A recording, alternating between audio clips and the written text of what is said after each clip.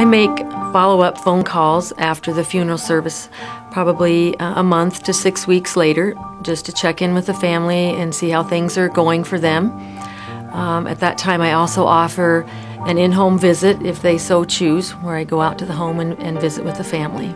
Everybody's different and that everybody moves through this grieving process in different ways. We provide a grief support program uh, for the initial stages of the grief process. This is a program where um, people who have lost a loved one, um, a husband, a child, or, or maybe even a friend, um, come together and share their grief. Um, it, it helps for them to come and uh, share with others to know they're not alone in that process and, and to again know that we are there for them.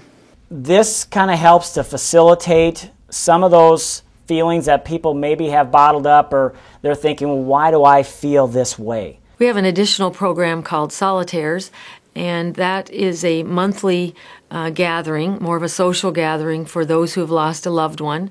Um, and together with the potluck, we also have uh, a variety of speakers that come each month.